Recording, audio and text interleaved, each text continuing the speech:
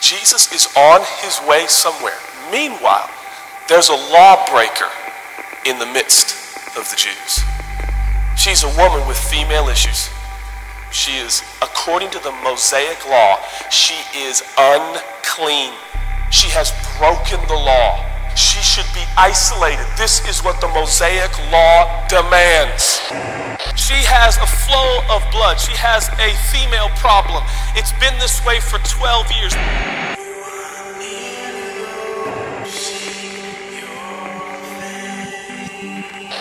This woman comes behind Jesus and she reaches to the hem of his garment. And in that moment, she encounters glory in the form of divine healing. She experiences the glory of God from his backside. And Matthew 9:22 starts with some of the most profound theological words I've ever read in the New Testament. It says, "But Jesus turned around."